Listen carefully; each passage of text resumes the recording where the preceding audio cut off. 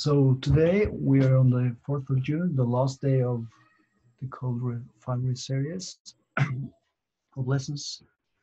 Uh, I'm going to talk about automated testing. Uh, later on, uh, Radovan will talk about modular code development before we conclude around 12 o'clock. and uh, uh, I'll we'll talk about automated testing in, in 90 minutes and we'll get a break before uh, Radovan uh, comments on modular code development. So if we then step into the program for automat automated testing, uh, I'll briefly talk about why we test uh, and give motivation for writing tests. Um, I'll step into the concepts around testing, well, different types of testing. Uh, then you will do an exercise for 20 minutes. Uh, hopefully we will have a time for a short break after that. Um, then I'll walk you through the, uh, the large exercise where you do uh, enable continuous integration testing on GitHub with GitHub Actions. Um, and uh, when you're done with that, we'll uh, have a conclusion, concluding session for five minutes. So that should be approximately 90 minutes. Okay, so well, let's talk about the motivation first, why we test. So here, here's a pretty strong um, view uh, untested software can be compared to uncalibrated detectors. Um, before relying on a new experimental device, an experimental scientist always establishes its accuracy. A new detector is calibrated when the observes uh, when the uh, when the uh, scientist observes its response to known input signals. Um, and then uh, the results of this calibration are compared against the expected response. Uh, simulations and analysis using software should be held to the same standards.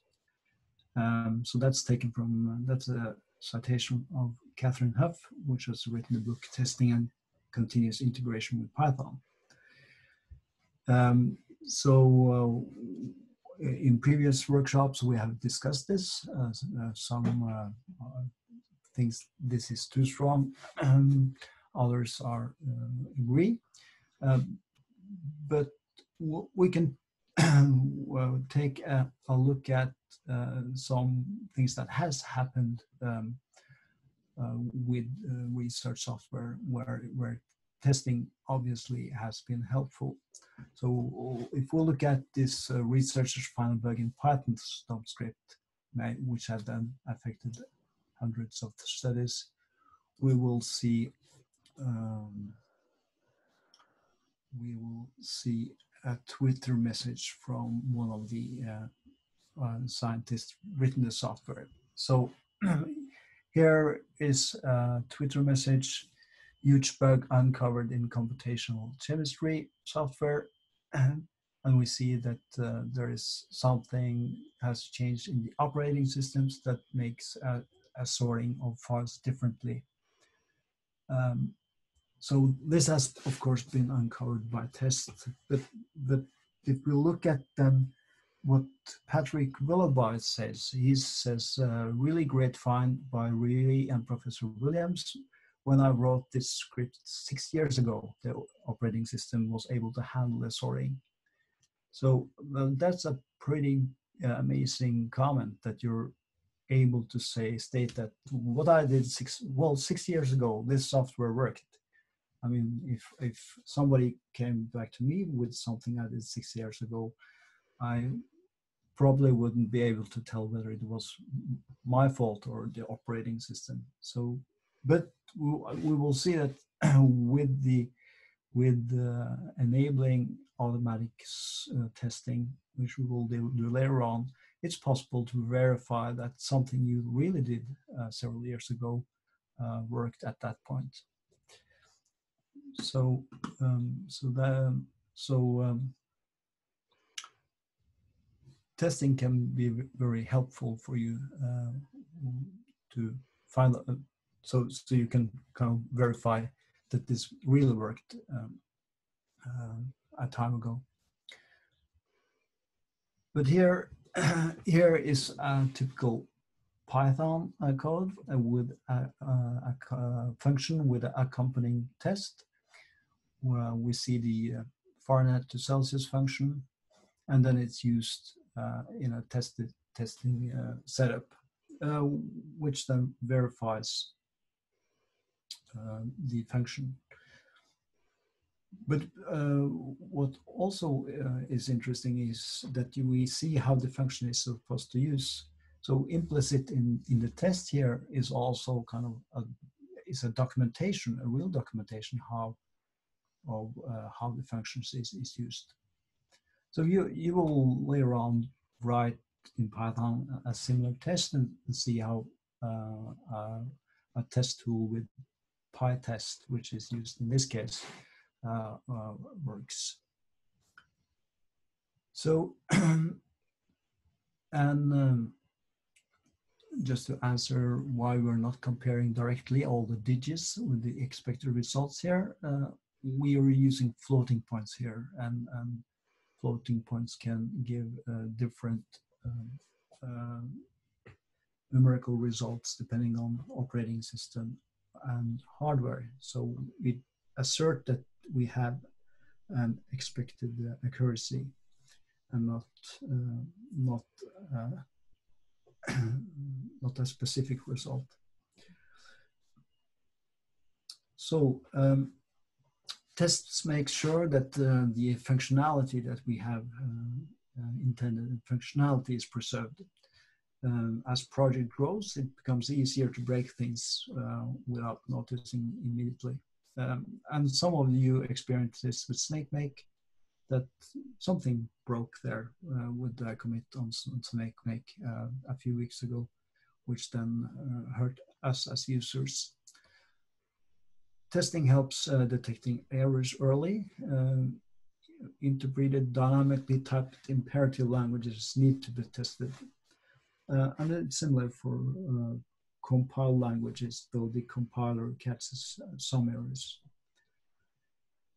So testing is essential for research software because we care about the reproducibility of scientific results and because um, because uh, derivative research and programs depend on research software. Program testing can be used to show the presence of bugs, but we can't use it for showing absence. We're our program will never be 100% correct, um, but mostly correct. As I said, it helps us uh, helps us to see how uh, a function is supposed to use. It's a kind of implicit documentation that follows along the code. So it makes it easier for others to verify whether the code has been correctly installed. Um, and users of your code uh, publish papers based on results produced by your code, and they can verify that, that the intention of the code is, is correct, that they're using it correctly. And your peers need to be able to reproduce your published uh, computational results. Um, and test is helpful in that way as well. Um, as your visibility grows, you may get others to work on your code and tests make then it possible to refactor the code. And by refactor, we mean that you need often to um, modify your code uh, um, to, to change how it behaves without uh, changing the output or input, but uh, changing it, perhaps the algorithm or or the way it's uh, uh, the flow of the code. Um, and this uh, for for making it more readable or making it more simpler. Um, so um, uh, uh, yeah, and with test you verify that your changes don't break the intention of the of, of your function or, or, or classes. Code is unsustainable without runnable test. Um, and well, we have a term in the software world called legacy software, which is software which you're depending on, but which you don't really touch because you are not sure how it works. And uh, the way to deal with legacy code is to is to act um, is write tests to, to to become acquainted with the code. But but you really don't want to be depending on legacy code because you you're not able to verify that changes on the on a software like that uh, don't break the code. Yes i mentioned the documentation part um, and it's easier for external developers to contribute to a project uh, when there are tests so here we're seeing somebody that definitely need to test uh, their suit. And it can, at least if you're working legacy code, you need some armor like that. Yes, so uh, as complexity grows, uh, tests uh, help you. Uh, and also test guides you towards a more modular uh, code structure. And of course, with test, there is also good tests and there are uh, less good ways to do it. So here's uh, here is the, the last example here. We have uh, a lot of side effects and uh, and global variables that uh, that uh, influence the test, uh, and it's a less way to do this.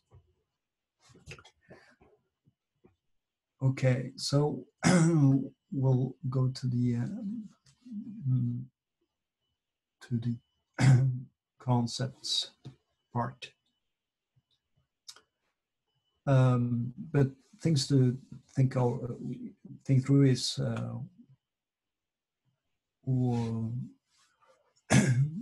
what happens if not uh, if not all tests are run uh, or when it, it's how you would trust the code when it's uh, not passing uh, so and uh, and if you see that all tests are disabled then also you have to be careful.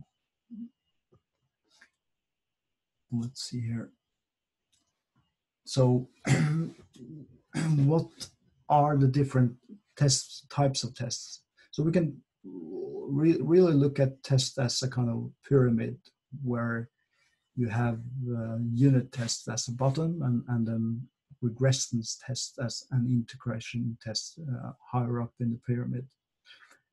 Um, here we see uh, kind of test, a physical test, where you at least have made a new alphabet, but but uh, at least you get some letters correct, A and uh, K and R, S, Y, Z. So, um, and uh, this goes for it's a, it's a good illustration for uh, how we should treat tests as well. That it's uh, better to have some test that runs them uh, than perfect uh, tests for everything.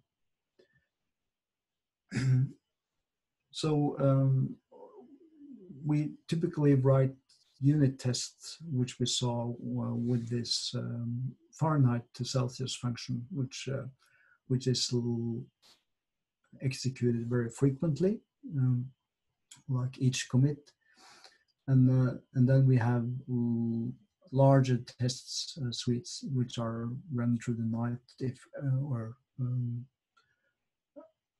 or uh, yeah when we do um, kind of um, when we do um, make new versions uh, um, in, in, parallel to the tests in itself we can also have we call also use assertions for doing defensive programming. So here we see a Kelvin to Celsius function where, where uh, we assert that some input, that the input is uh, uh not uh, negative. Um, but this is not a test in itself. It's assertions that follows the, the function uh, and, and are used in our code. Um, I mentioned the unit tests, which we also had se uh, seen, um, which is a good documentation of the capability and dependency of a, of a module. Uh, integrations tests that's uh, that you take all the different parts of your code and, and, and try to make them work together like uh, if you have a car um, you, assemble everything and see if it uh, starts and, and you're able to drive. Uh, regression tests are um, more a suite of tests where which you as your code grows and and you find errors and you write tests for isolating finding those errors and solving them you keep uh, a portfolio of tests that you run frequently so that um, those old errors don't uh, creep in uh, arrives again or or um, start popping up again. So so it's a kind of uh, you make sure that solve solve problems or solved errors remain solved. um, so this is very important uh, to have as you're developing a larger code base and and you is issue revisions or or new versions of a code base. Then we have the concept of test-driven development, which is more of a developing philosophy than just test in itself. Um, here you start to draw, to start your development with writing the test first, and then you uh, write the code to to uh, um, to fulfill this the first test. Uh, so th this is kind of uh, also um, if you're writing a set of functions, you you kind of design the um, how the functions are called first by writing the tests, and then you implement the functions. So you keep on doing this in uh, cycle um, where at first the, the, the, test breaks and then uh, you make it uh, go uh, go green or work and then uh, you uh, the test and the, the implementation of the function drive out drive drive each other so you use unit test which is to to guide your development um, which can be uh, very, very, a very, very good way of uh, writing code. Um, but it takes some time to to learn and to, but it's an attractive philosophy. Then we have uh, continuous integration, uh, which is uh, tests that are automatically run. Uh, typically, when you commit something, um, you will see this as an automatic workflow on, on GitHub uh, later today. Uh, so this makes it possible for the mainline maintainer to see whether a modification breaks a functionality uh, before accepting the pull request, for instance. Uh, code coverage is uh, uh, is something that measures how well the code is tested. Um, so uh, it, it doc uh, if ideally you want to have tests that cover 100% of your code, uh, that's often impossible. But code, code coverage will tell you how much of your code and which uh, paths through your code are uh, traversed and, and, and, and tested.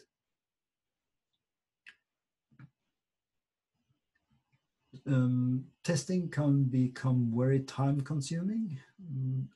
Not only because your code grows, but also because because um, uh, you want to test all types of combination platforms.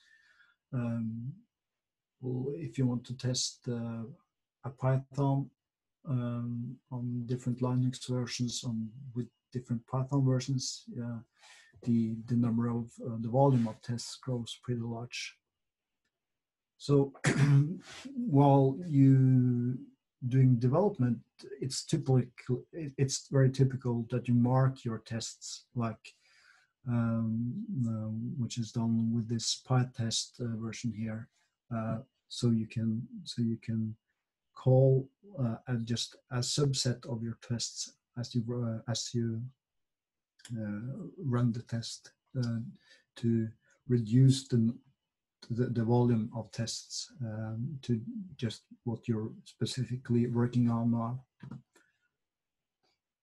Um, yes, so uh, good practices, uh, which you will practice in a few, uh, few minutes is test before committing, fix broken tests immediately, um, do not deactivate tests temporarily, think about coverage, um, go public with your testing dashboard and issues and tickets, test controlled errors. If something expected to fail, test for that. That means exceptions, um, for instance. And uh, create benchmark calculations to cover performance critical modules and, monitor timing. And make your tests easy to uh, run. So the example above here is is kind of too complex if you uh, need to write this uh, for every second minute. Uh, but then a make test, for instance, would be uh, much more efficient.